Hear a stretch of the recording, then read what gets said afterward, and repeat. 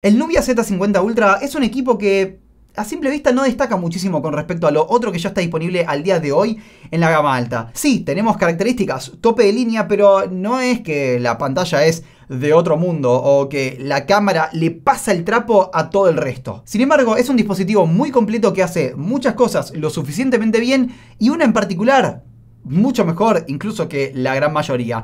Pero, si de repente nos fijamos el precio y nos damos cuenta que estamos obteniendo todo esto por más o menos unos 550, 570 dólares, esto empieza a tomar otro color. Pero en este smartphone no todo es rosa, así que vamos con la intro y después seguimos. Si justo estás buscando comprar algo en AliExpress, aguanta puedes ahorrar hasta un 25%. Se viene el 14 aniversario de AliExpress y lo van a festejar con descuentos de hasta 70% desde el 18 al 27 de marzo. Y con Shops puedes exprimir hasta el último centavo, como Homero, activando el super cashback del 25% para lo que sea que elijas. Si no sabes qué es el cashback, es muy simple. En pocas palabras, con esto te van a devolver un porcentaje de lo que gastas. Y esto no tiene costo para vos. Lo mejor es que en Shops la devolución no se hace a través de un código de descuento para una futura compra o crédito dentro de tu cuenta sino que podés retirarlo, por ejemplo, a tu cuenta de PayPal o directamente a tu cuenta de banco. Por supuesto, Shops cuenta con aplicación para iOS y para Android que te permite navegar y activar el Super Cashback de una forma súper fácil. La clave está en registrarse en Shops utilizando el link que está abajo en la descripción. Así que, momento de llenar el carrito de compras. Y después, contame, ¿qué te llevaste interesante? Muchísimas gracias a Álvaro que compró esta unidad para uso personal y me dijo, che, lo tengo nuevo cerrado en caja, ¿querés probarlo? Dije, obviamente que sí. Así que se agradece un montón, no solamente la propuesta, sino también la paciencia porque ya lo tengo hace más o menos unos dos meses. Pero quiero que sepan que me lo di vuelta. El link al Z50 Ultra está abajo en la descripción, junto a otro link que tiene productos que estamos liquidando porque no tenemos más espacio en oficina. Aprovechen porque hay muy buenos precios. Para que sepan dónde estamos parados con este equipo, vamos con las especificaciones técnicas. El Z50 Ultra trae una pantalla AMOLED de 6,8 pulgadas con una tasa de refresco máxima de 120 Hz, está certificada para reproducir contenido en HDR10 Plus y su brillo pico es de 1500 nits. Corre la interfaz MyOS 13 sobre Android 13 y su chip es el Snapdragon 8 generación 2 de Qualcomm. Hay diferentes combinaciones de RAM y almacenamiento y pueden ser por ejemplo de 8, 12 o 16 GB de RAM y 256 o 512 GB o 1 TB de almacenamiento interno no expandible pero UFS 4.0, o sea, del rápido. Las cámaras traseras son 3 pero funcionan como 4. Tenemos una principal de 64 megapíxeles con autofoco por detección de fase asistido por láser y estabilización óptica sobre el lente, otro más de 64 megapíxeles pero un poco más chico, este es de media pulgada contra el otro de 1 sobre 1,73, aunque este cuenta con un lente telefoto periscópico de 3,3 aumentos. Y por último, la ultra wide es de 50 megapíxeles y cuenta con foco variable, así que también funciona como cámara macro, que, dicho sea de paso, cuenta con un anillo LED alrededor para asistir con la iluminación. La cámara frontal es de 16 megapíxeles y no, no tienen grasa en la pantalla, se ve así. Y es porque está oculta debajo de la pantalla y nos permite grabar como máximo hasta 1080p a 30 cuadros por segundo. Lo que es muy diferente a lo que podemos lograr con la cámara trasera, con la cual podemos llegar hasta 4K60 u 8K30. Trae parlantes estéreo, no cuenta con jack 3,5 mm, soporta Wi-Fi 6E, Bluetooth 5.3, NFC y la capacidad de la batería es de 5000 mAh con carga rápida cableada hasta 80 watts. Y como Nubia vio lo de Apple y dijo, por cada fuente que no pongas yo voy a poner dos, es exactamente eso lo que hicieron. En la caja vienen dos fuentes, pero esta es la de 80 watts. Aunque la otra viene con dos USB tipo C y uno tipo A. Igual, llega hasta 60 watts, así que no es que esta no es potente. Vamos a colocarlos, como ya es costumbre, donde corresponde. Hablemos un poco acerca del cuerpo. Y sí, justo esta es la edición especial por La Noche Estrellada de Van Gogh. La terminación de los bordes es bastante lisa, así que no hay mucho agarre acá, por lo que el teléfono termina siendo un poco resbaloso. Encima, esto no juega muy bien con el hecho de que todo el módulo de la cámara atrás es pesadísimo y me recuerda hasta cierto punto al Nokia Lumia 1020 que tenía una mochilaza recontra pesada y protuberante en la parte de atrás.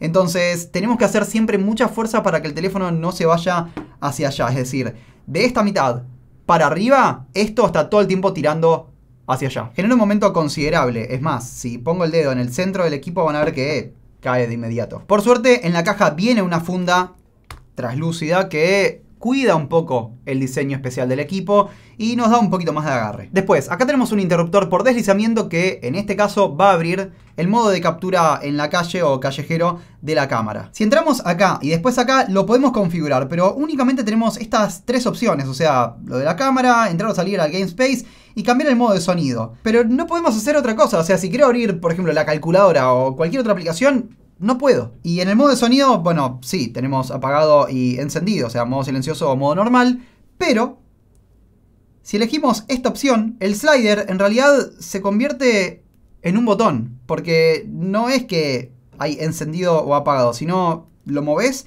y entras a la app. Que sí, por un lado está bueno si estoy en la calle y necesito entrar rápido a la cámara porque no me interesa ver nada, simplemente cambio esto y ya estoy adentro. Pero tal vez hubiera estado bueno un modo secundario que nos impida salir de la aplicación cuando tenemos el switch activo. El equipo viene pelado de aplicaciones. Viene tan vacío que ni siquiera traía, por ejemplo, una aplicación de reloj para colocar un widget sobre el escritorio. O al menos es así para la ROM que recibimos. Pero bueno, lo genial es que podemos elegir cada una de las cosas que queremos. Verán que está instalado Gboard y es porque, sí, el teclado que viene por defecto es funcional, pero toda la interfaz, a pesar de en este momento estar configurada en inglés y sí también soporta español, tiene en algunos casos malas traducciones o aplicaciones que están en chino o que sus mensajes de notificaciones están en chino. Entonces, uno, si no sabe ese idioma, obviamente no entiende nada. Así que con Gboard me encuentro con algo que me resulta un poco más conocido. Ven, por ejemplo, el explorador que viene por defecto está totalmente en chino. Así que para este caso habría que descargar Chrome, Firefox o lo que prefieran. Y el teclado, muy importante, por suerte sí se despega de la parte de abajo de la pantalla, así que no es que está pegado acá abajo y después tenemos que modificarlo a mano. Y también tienen que configurar el sistema para que haya un cajón de aplicaciones porque si no por defecto viene todo tirado por ahí. De cualquier manera esta es básicamente la misma interfaz que vimos en los equipos Red Magic, con unas pequeñas diferencias y lo mismo para la cámara, pero después de eso es más o menos lo mismo. Tendrán alguna pequeña diferencia en un color o icono, pero es lo mismo. Sobre la pantalla, desde acá podemos elegir la tasa de refresco, automática, 60 o 120. Solo para que lo sepan, una vez me pasó que por alguna razón, incluso en automático o en 120, quedó totalmente trabado en 60 Hz. Y no importaba si lo sacaba de standby o si tocaba algo en la pantalla, tuve que reiniciarlo para que vuelva a funcionar en automático. Así que no se preocupen si les pasa una vez como a mí, pues nunca más me volvió a pasar, pero por lo que lo menciono, lo reinician y ya está. Y con reiniciar me refiero a reiniciar el equipo y no restaurar los datos de fábrica, ojo. La pantalla está muy buena, la reproducción de colores es más que correcta, es un panel súper rápido, así que la verdad acá no tengo críticas. Incluso, ¿ven? Ese casi... Ni siquiera circulito que está ahí. Esa es la cámara que está oculta debajo de la pantalla y desde acá pueden configurarla para diferentes niveles de brillo por si la quieren con una tonalidad un poco más roja o una mezcla entre los otros colores primarios de la luz. Igual, en mi caso, así como vino por defecto, está perfectamente bien. En YouTube podemos cargar videos hasta 4K a 60 cuadros por segundo. La reproducción, obviamente, para un Snapdragon 8 generación 2 es más que correcta. Y los parlantes... más grande. Acá abajo tenemos los controles.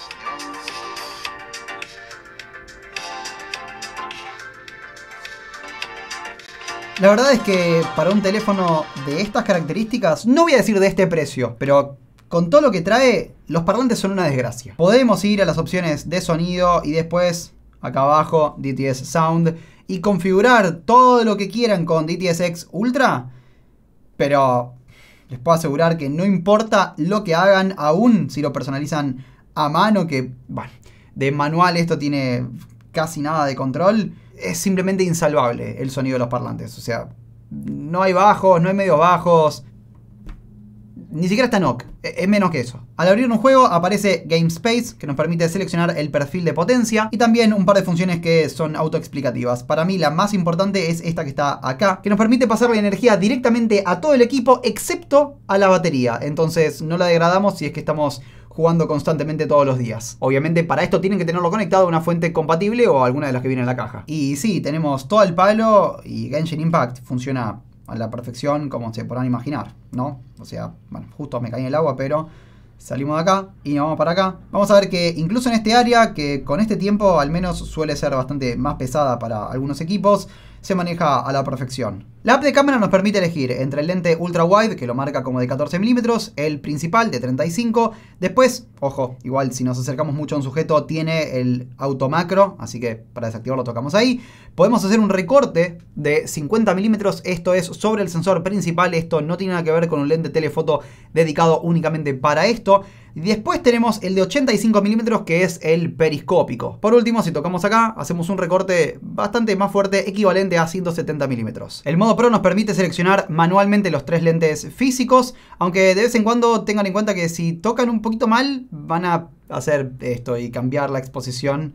Y para eso van a tener que, bueno, salir y volver a entrar. Lo genial es que podemos bloquear el autoenfoque, la autoexposición y el balance de blancos. Esto es fabuloso.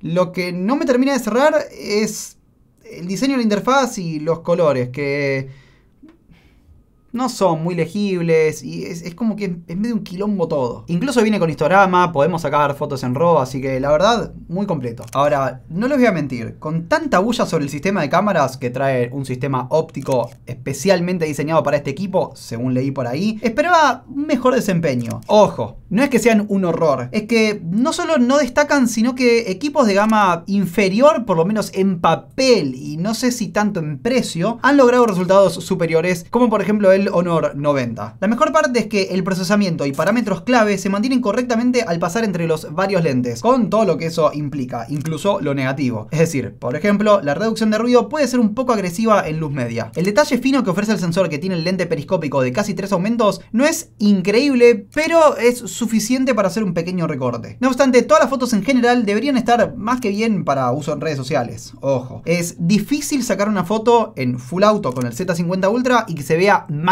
en serio. El modo noche ayuda, pero de por sí las fotos nocturnas suelen estar bien de todos modos. La frontal es un infortunio, igual de esta creo que nadie esperaba mucho. ¿No? Aunque sí algo mejor que una imagen borrosa completada parcialmente mediante inteligencia artificial, o por lo menos así lo parece. Está bárbaro contar con flash LED alrededor de la cámara macro, porque claramente ayuda a capturar detalles finos. Además, con esta cámara nos podemos acercar un montón, les diría un poquito más que el promedio. Algo que definitivamente quiero mencionar es que la calidad óptica de los lentes es excelente. No hay aberraciones cromáticas marcadas aún en las esquinas, ni halos, ni viñeta que bien podría haber sido corregida por software, pero que de todos modos no aparece. Así que ese trabajo sí se nota. La calidad de grabación de video tiene cosas buenas y malas. No se ve un bitrate bajo ni un mal trabajo sobre la definición, aunque el contraste puede resultar bajo en algunos casos. Como pueden ver en esta toma, realizar un control manual devuelve un resultado ampliamente superior, aunque sucede con un poco de violencia. El rango dinámico es bueno, pero los cambios de exposición suelen realizarse de forma escalonada, lo cual arruina fácilmente algunas tomas. Algo muy bien logrado es la velocidad y precisión del foco automático junto a la estabilización híbrida, que en ningún momento se siente agresiva ni insuficiente. La frontal, otra vez, es más para salir del paso que otra cosa. Resultados deficientes es decir poco. La batería aguanta para todo el día con cierta facilidad. No dejamos de tener un Snapdragon 8 generación 2 que es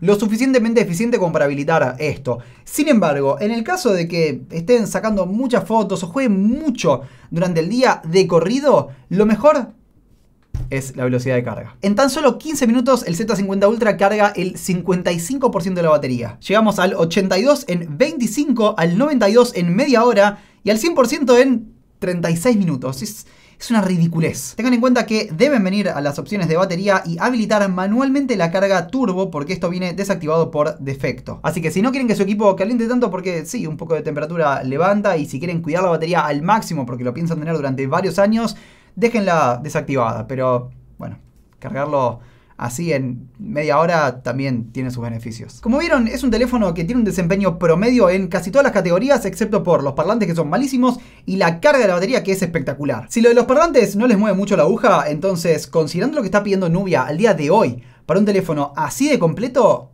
me parece que es fácil de recomendar. Obviamente los pequeños inconvenientes que tuve con el equipo serán más o menos molestos para ustedes, como por ejemplo el tema de que el cuerpo es un poco resbaloso, o que el software simplemente no es el mejor que he probado, que la interfaz de cámara no es la más linda ni la más cómoda para todos los casos, pero por este valor creo que hay varias cuestiones que le puedo dejar pasar con suficiente facilidad. Así que sabrán decirme ustedes qué es lo que opinan sobre el Nubia Z50 Ultra abajo en los comentarios. Como siempre saben que los leo. Soy Nicolás Fishman y nos vemos en próximos videos.